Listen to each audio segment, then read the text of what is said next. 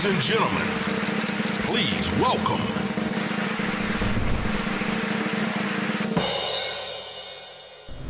Καλώς ορίσατε, κύριε Βαλτινέ. Είναι μεγάλη μας τιμή που είστε εδώ. Καλώς σας βρήκα, κυρία μου. Κύριε, σας ευχαριστώ για την πρόσκληση. Τώρα, πριν ε, αρχίσει η κουβέντα μας, συζητάγαμε όλη αυτή την ιστορία με τον κορονοϊό που μας έχει στοιχήσει πολύ από όλες τις απόψεις. Τι θέλετε, υπάρχει κορονοϊός; Δεν υπάρχει, ε. Ξέρω εγώ έτσι ακούω. Μερικοί λένε ότι δεν υπάρχει, δεν υπάρχει κορονοϊός, δεν υπάρχει εμβόλιο, δεν υπάρχουν πεθαμένοι, δεν υπάρχουν διασωληνωμένοι, δεν υπάρχουν άρρωστοι.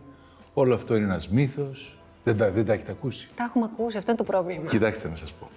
Τώρα ξέρω ότι αυτά που θα πω την άλλη μέρα που θα βγει η εκπομπή θα αρχίσουν να γράφουν ότι είμαι άνθρωπος της κυβέρνησης, ότι πάω για υπουργός υγείας, θα με βρίζουν, θα λένε να αρρωστήσω, να πεθάνω και τέτοια. Είναι όλη αυτή η κακώς εννοούμενη δημοκρατία των social, η οποία επιτρέπει στον καθένα να δείχνει το επίπεδό του και τη μόρφωσή του. Δεν έχουμε άλλη επιλογή από το εμβόλιο. Αυτό πιστεύω. Δηλαδή, όποιος νομίζει ότι μπορεί να κάνει κάτι αυθαίρετο, ε, νομίζω ότι θα πρέπει να βγει και από την κοινωνία. Όταν επιλέγεις να είσαι σε ένα κοινωνικό σύνολο, να το χρησιμοποιείς και να σε χρησιμοποιεί, να εργάζεσαι, να βγάζεις χρήματα, δεν μπορείς να μπαινοβγαίνεις όποτε θέλεις. Είμαστε όλοι μαζί, πρέπει να αντιμετωπίζουμε τα πράγματα όλοι μαζί, αυτό έχουμε επιλέξει, να είμαστε όλοι μαζί και πρέπει όλοι μαζί να ακολουθούμε κάποιους κανόνες. Δηλαδή, πολλές φορές μπερδεύουμε τη δημοκρατία με την ασυδοσία, με την αναρχία. Πράγματα που δεν αρχίζουν καν από δέλτα.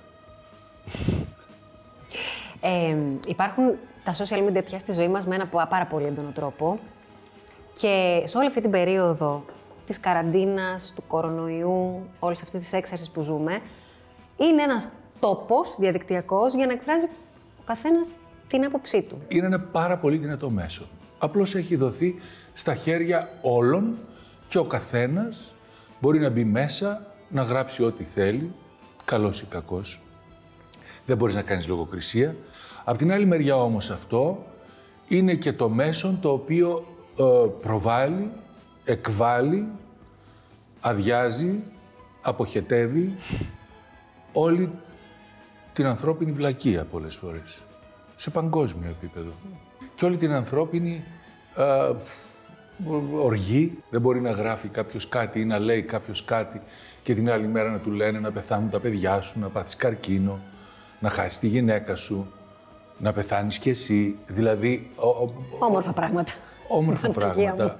Ε, με θλίβουν πάρα πολύ όλα αυτά. Σε θέματα γενικά, όπως είναι ο κορονοϊός και πάρα πολύ επικίνδυνα, ε, η οποιαδήποτε βλακεία γραφτεί γίνεται εξαιρετικά επικίνδυνη και αυτή. Είστε ένας άνθρωπος και ένας καλλιτέχνης που φημίζεστε για την ευγένεια και την εξωπρέπειά σας. Και την ομορφιά. Και την ομορφιά, φυσικά. Μένω λίγο παραπάνω στην ευγένεια και το ήθος, γιατί την τελευταία χρονιά που πέρασε, ε, ακούσαμε τα. Είδες πώς το πάει, ε; Θα προσγειωθούμε Βλέπετε έτσι που πάει το πάνω πράγμα. στο- Βλέπετε που πάει. Μην στο, νομίζετε και εγώ. Το στο σερβίρι. αεροδρόμιο Μητού. Ναι, εκεί θα πήγαινα. Όλοι γίναμε μάρτυρες των καταγγελιών για συμπεριφορές που ήταν αποτρόπες, που ήταν σοκαριστικές κάποιες. Επειδή είστε για μένα παράδειγμα προς μίμηση γενικά και στην πορεία σας και στον τρόπο που έχετε συμπεριφερθεί, θα ήθελα την τοποθέτησή σας. Δεν είναι όλο το θέατρο έτσι. Το ξέρετε, παιδιά. Και Ναι, ναι, εσείς. Φυσικά. προς Θεού, όπως δεν είναι όλο, όλο, όλη η κοινωνία έτσι. Έτσι. Ε, υπάρχουν και σε άλλους χώρους τέτοια κρούσματα. Εκείνο που με ενόχλησε είναι ότι έβγαινε ο καθένας και έλεγε την άποψή του και έκανε δικαστήρια λαϊκά κτλ. Κάτι το οποίο απέφευγα και θα αποφύγω και σήμερα εδώ. Οι υποθέσεις βρίσκονται εκεί που πρέπει, θα αναλυθούν, θα εξηχνιαστούν. Ε, σίγουρα αυτοί οι άνθρωποι που έχουν κατηγορηθεί ήταν ταλαντούχοι άνθρωποι, ε, προσφέρανε στο θέατρο και αυτό είναι ακόμα πιο λυπηρό, ακόμα πιο θλιβερό. Νομίζω όμως ότι πρέπει να σταματήσουμε να κάνουμε τους δικαστές, τους αστυνόμους, τους κριτές, να μην παίξουμε κι εμείς το παιχνίδι των social media που λέγαμε πριν, όπου ο καθένας είτε γράφει σε ένα tweet την άποψή του, είτε βγαίνει στην τηλεόραση και καταδικάζει και αφορίζει κτλ. Είναι κάτι που μας έχει πληγώσει ανεπανόρθωτα, κάτι που μπορεί να αφήσει θετικό αποτύπωμα στο τέλος, γιατί κάποιοι άνθρωποι που, εν πάση περιπτώσει, έχουν κάποια ροπή, κάποια συνήθεια, κάποια αγένεια, κάποιο κακό χαρακτήρα, αν θέλετε, τον οποίο πληρώνουν τώρα, ε, θα είναι πιο προσεκτικοί. Αυτό είναι θετικό. Είναι καλό. Λοιπόν, η φωνή σας είναι μ, από τις πιο χαρακτηριστικές συντρικέ φωνές στην Ελλάδα. Τι να λέμε τώρα; Και στην ανατομία ενός εγκλήματος που είχατε κάνει τηλεοπτικά, ήταν φοβερό το γεγονός ότι εμφανιζόσασταν για τόσο λίγο. Ναι. Και αυτό που σου έμενε από την ανατομία ήταν αυτή η φωνή. Αυτό το Εντάξει. ξεκίνημα και αυτό το τελείωμα. Ναι. Ε, η ανατομία, παιδιά, ήταν. Τι να πω. Ακόμα και τώρα με, με συναντάει κόσμος και μου λένε Αχ, αυτή η ανατομία και τα αυτά. Λέω τόσο αίμα πια, σας άρεσε. Μα όταν βγαίνατε από αυτή τη βιβλιοθήκη. Ναι, ναι, Αυτή η ναι. βιβλιοθήκη είναι Iconic. συγκλονιστικό. Iconic. Αυτή η βιβλιοθήκη ήταν πλατό. no, Τι ήτανε; ήταν η βιβλιοθήκη του Ευγενιδίου Ιδρύματος. Ήταν πραγματική βιβλιοθήκη στην οποία πήγε ένα παιδί, γιατί ήμουνα των νοτίων προαστίων, πήγε ένα παιδί και διάβαζα. Σε αυτή τη βιβλιοθήκη μέσα που έκανα την ανατομία, Απίστευτο. εγώ πήγαινα και κατέβαζα ρα- από τα ράφια βιβλία και που να ξέρα μετά ότι θα πάω να κάνω ε, γύρισμα εκεί πέρα. σε ένα σύριαλ το οποίο έγραψε ιστορία και ε, που ε, έχω κάνει και άλλα πράγματα και στο θέατρο και ναι. στη τηλεόραση. Πολλά, πολλά. Ακόμα συναντάω ανθρώπους που μιλάνε για την αναδομία και τους λέω ρε παιδιά, έπαιζα συνολικά πέντε λεπτά στο επεισόδιο. Αυτό είναι το φοβερό. Έβγαινα τρεις φορές από 1,5 λεπτό. Κάτι τέτοιο. Ναι, αλλά είχατε ένα κύρος που έβαζε τον, ε, τον θεατή Ναι. στη. ότι ε, σου μιλάει. Ότι είναι πολύ ένας σοβαρά τα άνθρωπος πράγματα τώρα. Που, στα- που σου λέει κάτι έγκυρο. 100% σίγουρα Ναι, ναι, ναι. έχει συμβεί αυτό το πράγμα και όλη η ιστορία που αφηγείστε. Το οφείλουμε στον Πάνο Κοκκινόπουλο, στον Πέτρο Μάρκαρη που έγραφε τα κείμενα. Και σε εσάς και σε στην παρουσία σας το συζητάμε. Ε, Εσείς όμως κάνατε και καθημερινές σειρές κάποια στιγμή. Βέβαια. Πιο μετά. Ναι. Ε, αλλά Όταν ένιωσα ότι δεν θα, με, δεν θα μου κάνανε κακό.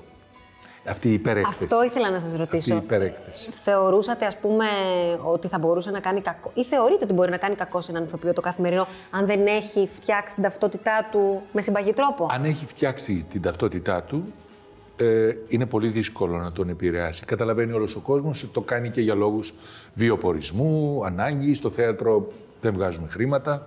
Τώρα μπορούν οι καθημερινές σειρές να βγάλουν και πρωταγωνιστές. Έχει σταματήσει αυτό το ταμπού που λέγανε θα κάνεις καθημερινή σειρά, καταστράφηκες. Εδώ τώρα υπάρχουν παιδιά, εξαιρετικά ταλέντα, τρομεροί ε, θεατρικοί ηθοποιοί, που παίζουν σε καθημερινές σειρές και που έγιναν πρωταγωνιστές, έγιναν πασίγνωστοι στο Πανελλήνιο, χωρίς η καθημερινή σειρά να τους έχει κάνει το παραμικρό κακό. Πολλές φορές δε τους έχει κάνει και πολύ καλό. Ε, έχουν γίνει πάρα πολλά σύριαλ τελευταία επανεκδόσεις. Αν σας λέγανε, ξανακάνουμε την ανατομία ενό εγκλήματος. Σαν τρελός. Ναι. Την κάνατε. Κάποια στιγμή πρέπει να σας αποκαλύψω ότι είχαμε συναντηθεί με τον αείμνηστο Κυριακού και με όλο το team των συ- συνεργατών του τότε να το ξαναρχίσουμε. Και γιατί Και δεν γιατί έγινε; δεν έγινε; Γιατί κάποιοι ε, από εκεί μέσα, από τους συμβούλους, δεν το θεωρήσαν σωστό. Αυτό είχε σαν αποτέλεσμα ο Πάνος να πάει σε άλλα, ο σκηνοθέτης, ο Κοκκινόπουλος, να πάει σε άλλα κανάλια, να κάνει ένα διαφορετικό concept, το οποίο ήταν εξίσου πετυχημένο. Ναι, ναι. Έτσι δεν έγινε η ανατομία. Η ανατομία ήταν μια σειρά η οποία θα μπορούσε να παίζεται ακόμα. Δηλαδή εννοώ ε, να, βγά, να παράγει καινούργια επεισόδια. Ναι, ναι. Βλέπετε τηλεόραση; Βλέπω τηλεόραση, βλέπω τα πάντα. Και reality. Και τα show και όλα; Ε, Ακούστε, reality όσο αντέξω. Βλέπω κάτι πεντάλεπτα για να έχω γνώμη. Στο, Μετά- στο εξάλεπτο κάτι παθαίνει. Μετά πρέπει να πάω να πάρω κάτι χωνευτικό, κάτι... Υπάρχουν μερικά τα οποία είναι άθλια. Τα οποία είναι η προσβολή της ανθρώπινης αξιοπρέπειας. Να σας ρωτήσω κάτι ε, που είναι εντάξει, πιο συντεχνιακό, αλλά δεν γίνεται να με το ρωτήσω μιας και μου δίνετε ευκαιρία. Είστε ένας πάρα πολύ όμορφος άντρας. Πάρα πολύ. Κανονικά. ε, Φτιάχνετε. φαντάζομαι ότι θα σας πήγαιναν για ζεν πρεμιέ αποκλειστικά και μόνο. Όχι απόλυτα. Το φοβόμουν πάντα όλο αυτό το πράγμα, ξέρεις. Ζεμπρεμιέ, ο κούκλος, ο νεαρός, ο, ο ερωτικός, ο ερωτευμένος κτλ. Το οποίο κάποια στιγμή είναι σαν τα μανικέν, κάποια στιγμή λύγει αυτό. Ειδικά αν πατήσεις πολύ πάνω σε αυτό, αν το προβάλλεις, ε, τα βρεμένα τα μπλουζάκια, τα αυτά, ε, λίγο το γυμνό, λίγο τα ποντίκια, λίγο τα γυμναστήρια. Κάποια στιγμή τελειώνει όλο αυτό και έχεις εθίσει τον κόσμο να σε βλέπει έτσι. Αυτό λοιπόν εμένα, επειδή δεν είχα πολλά περιθώρια να αποτύχω, δηλαδή δεν είχα να κάνω κάτι άλλο, δεν είχα οικογένεια να με βοηθήσει, να με στηρίξει οικονομικά, έπρεπε να είμαι εξαιρετικά προσεκτικός. Θυσίες. Δεν έκανα καμία. Νομίζω ότι το ερώτηση μοιράζει περισσότερο στη λογική του ότι επειδή αφοσιωθήκατε πολύ, αν αυτό ας πούμε κόστησε στην προσωπική σας ζωή, αν είχατε. Στην οικογένεια, στην Κυριακή που μαζευόμαστε στα σπίτια μας και τρώμε κανονικά. Τα όσοι δεν πάνε Χριστούγεννα να που κάνουν διπλή. καθόμαστε.